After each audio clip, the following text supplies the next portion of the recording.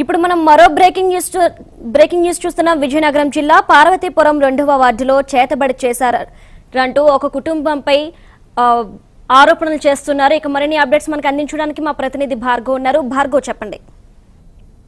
Right Priyanka. ఏదంటే ఈ పార్వతీపురం నియోజకవర్గంలో ఒక చేతబడుల విషయం అయితే ప్రస్తుతానికి కలగడానికి వచ్చిన సందర్భం ఇప్పుడు మనకి ఆలస్యంగా వెళ్ళలోకి వచ్చిన పరిస్థితి మనకు కనబడుతుంది. అయితే దీనికి సంబంధించి ప్రస్తుతానికి ఏదైతే ఒక కుటుంబానికి సంబంధించి వేరే కుటుంబం ఎదురుగా ఉన్న కుటుంబం కుటుంబం పైన చేతబడులు అయితే ప్రయోగించారంటే అక్కడ ఉన్న స్థానికుల్లో కూడా కొంతవరకు కలకలం అయితే రేపింది. దీనికి సంబంధించి అక్కడ ఉన్న చుట్టుపక్కల ఉన్న ప్రజలందరూ కూడా భయాందోళనకు గురయ్యారు. అంతేకాకుండా దీనికి సంబంధించి ప్రస్తుతానికి దాన్ని వాళ్ళు ఏదైతే చేతబడిలో ఒక భాగంగా ఉన్న ఒక ఏదైతే చర్య ఉందో దాన్ని కొంతవరకు వీడియో రూపంలో చిత్రీకరించి దాన్ని తీసుకెళ్ళి పోలీస్ స్టేషన్లో కూడా కంప్లైంట్ ఇవ్వడం జరిగింది. దీనికి సంబంధించి పూర్తి వివరాలు కూడా తెలుసుకొని ఏదైతే ఈ చేతబడులకు సంబంధించి ఇలాంటి చర్యలకు ఎవరైతే పాల్పడుతున్నారో ఇలాంటి చర్యలకు పాల్పడి ప్రజల భయాండాలకు గురి చేస్తున్నారో వాళ్ళందరికీ కూడా వాళ్ళపైన చర్యలు తీసుకుంటామని పోలీసులు కూడా హామీ ఇవ్వడం జరిగింది.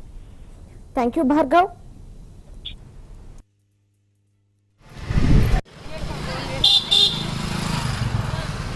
Yeah,